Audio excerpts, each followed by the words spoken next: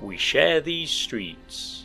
True tales of everyday folk in bygone Nottingham. Oh Episode 17 Harwood.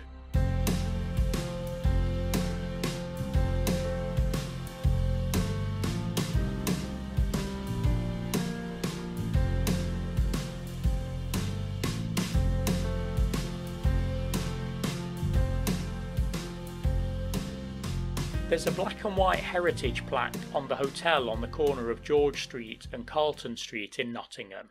It reads Notts County Football Club, the world's oldest professional league club. Founded 1862. Officers and committee elected at a meeting in this hotel Wednesday, the 7th of December 1864. It's slightly confusingly worded and it'd be easy to think this is where Notts County had been formed in 1862. That honour, though, falls to the Lion Hotel on Clumber Street, where seven individuals met and formed the football club. The seven were Major Hack, W. A. Hodges, Richard Daft, Bernard Bradley, F. S. Smith, Mr. A. Blake Ballion, and Mr. J. C. Hodges. Sadly, the documentation outlining that initial meeting has been lost over time, and newspaper reports provide little information. The American Civil War was being fought then, and the press were understandably focused on that. County had been formed before what would become the sport's governing body, the Football Association. There was no consensus on the rules at that time, and the game tended to be closer in spirit to rugby than modern football. The goalkeeper, for example, could be charged out of the way by an opposing player, leaving the goal exposed. It was also considered an acceptable part of the game to intentionally hack at the opponent's shins and trip and elbow them. In football at the time of recording, it's typical to have three to five defenders, three to five midfielders, and one to three forwards. In football's infancy, it was almost the exact opposite two defenders and nine forwards. The defenders were known as behinds, which conjures the peculiar idea that rival fans may have spent time in pubs and on touchline discussing the pros and cons of each other's behinds. The rule that teams had to consist of 11 players wasn't compulsory until 1870, and up until then numbers fluctuated. Around the time of Notts County's formation, though, it was typical to have 11 or 12. The year after Notts began, the Football Association came to be. Founded at the Freemasons Tavern in London, the FA drew up their official rules and County quickly applied for a copy. Notts County played at several different locations before finding a home at Meadow Lane. The first was a place called the Hollows, which is described as being in the park area. There's some ambiguity about where exactly this was located, with some suggesting it may even be within the castle grounds. Some of the confusion stems from hollow being used quite commonly around the area to denote somewhere built over the old castle's ditch. More confusion stems from the fact that Notts later played at a place called the Castle Cricket Ground, which was actually in the Meadows area. There was some great information and theories going back and forth about this on Twitter, so many thanks to Scott Lomax, David Wilson, Railway Maniac, Lindsay Clark, Ian Marsden, and Nigel King, among others, for chipping in with information and old maps. In volume 11 of their Victorian Nottingham series, the authors Iliffe and Bagley state the earliest games were played on a ground called the Hollows in the park. It was just a piece of ordinary pasture land. Cows would be grazing on it for most of the week. There were no stands. The spectators stood around the touchline, and the players changed in a nearby hut. The club played at numerous grounds in their early years, including that old Castle Cricket Ground in the Meadows, cohabiting with Nottingham Forest at the Town Ground and later the City Ground, and then the legendary Trent Bridge Cricket Ground. Shortly after they left Park Hollow, a player joined Notts County who would have a big impact on the club and sporting life in Notts in general.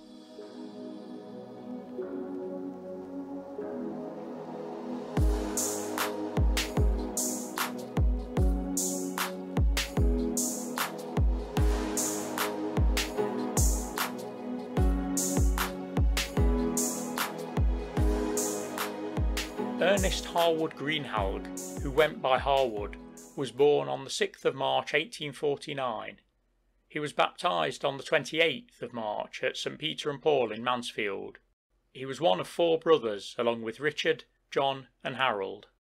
The Greenhalgh family had moved to Mansfield in North Notts in the early 1830s. They originally lived on Windmill Lane and leased nearby Stanton Mill on Bath Lane. Business success soon followed, and other homes and mills were purchased.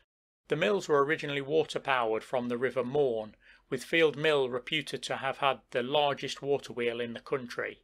It was 40 feet in diameter, 10 feet wide, and boasted 124 buckets.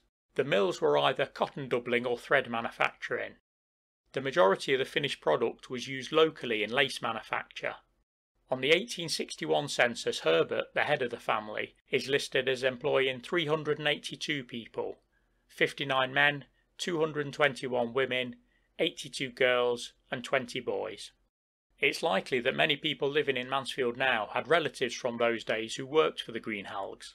The business formed Field Mill Football Club, and employees were encouraged to join.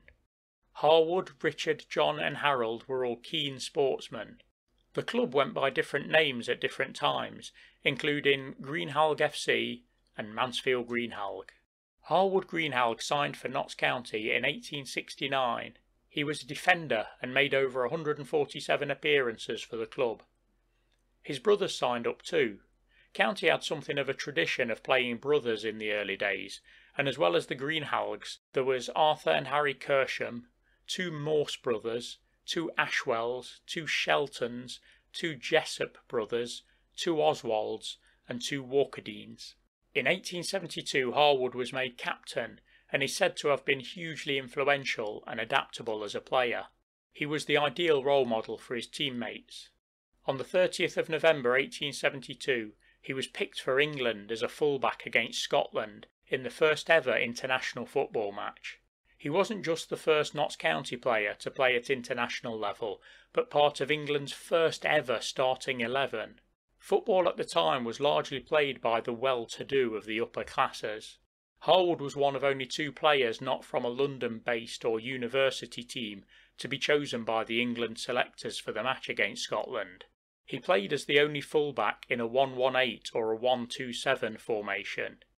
The idea of one English defender against seven or eight Scottish attackers seems absurd in modern football terms, and Harwood must have been made of stern stuff. There was a return match several months later on the 8th of March 1873 and only Harwood and one other teammate, Charles Chenery, impressed the selectors enough to be recalled. Harwood's adaptability was such that he played forward in the second match. In 1872, Harwood had a daughter, Edith, with Annie Wilson. Annie and Harwood married on the 12th of June 1874. In 1881, the census lists Harwood as living at Carr Bank, Nursery Street, Mansfield, with his brother Harold. Harwood's marital status at this time was listed as single, so potentially he and Annie had separated. His employment was listed as a cotton doubler, employing 320 female workers. In the 1882-83 season he led County to the FA Cup semi-finals. Sadly though they lost 2-1 to Old Etonians at the Kennington Oval. 1883 saw the birth of Winifred Emma Greenhalgh, Annie and Harwood's second daughter. Sadly, Harwood's mother Emma passed away on November 23rd of the same year. In 1888, a third daughter, Ethel Sarah Greenhalgh, was born. The following year saw the death of her older sister, Winifred. 1888 was a historic year for football. On the 8th of September, the first organised league in the world was formed, with 12 member clubs from the Midlands and north of England Accrington, Aston Villa, Blackburn Rovers, Bolton Wanderers, Burnley, Derby County, Everton, Notts County, Preston North End, Stoke, West Bromwich Albion, and Wolverhampton Wanderers. Prior to the formation of the league, fixtures were somewhat chaotic, with clubs organising individual matches themselves on an ad hoc basis.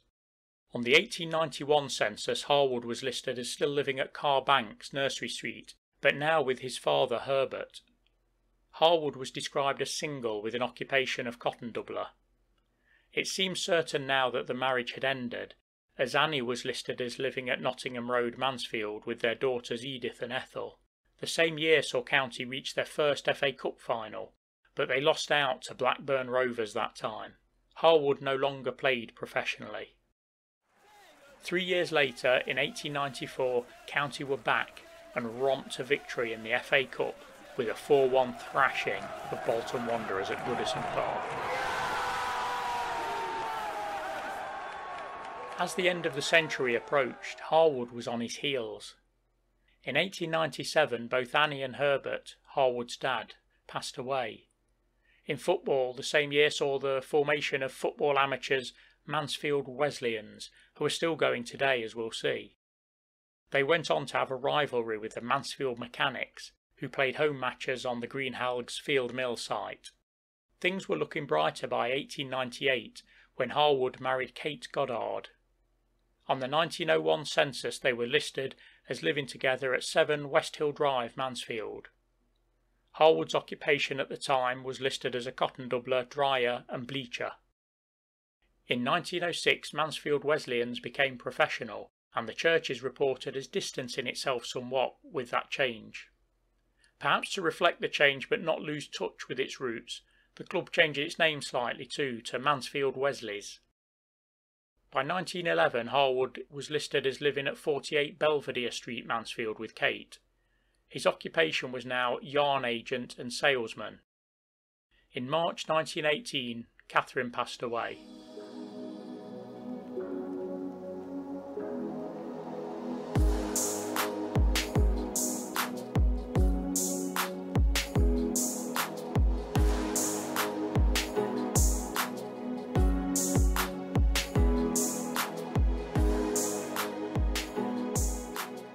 After World War One, the Mansfield Mechanics defaulted on rent at their field mill site, and their local rivals capitalised on this and moved in. Their rivals had been known as Mansfield Wesleys, but by this time held the name they hold now, Mansfield Town. Harwood Greenhalgh died on the 14th of July 1922 at 32 Thornywood Rise in Carlton. He's buried at Carlton Cemetery, Nottingham. The official records don't tell us why he ended up so far from Mansfield in his final days. The census records may sometimes list him as a yarn agent or cotton doubler, but his place in football legend is beyond doubt. Field Mill is still Mansfield Town FC's home and is regarded as the oldest ground in the league since it's hosted football matches since 1861.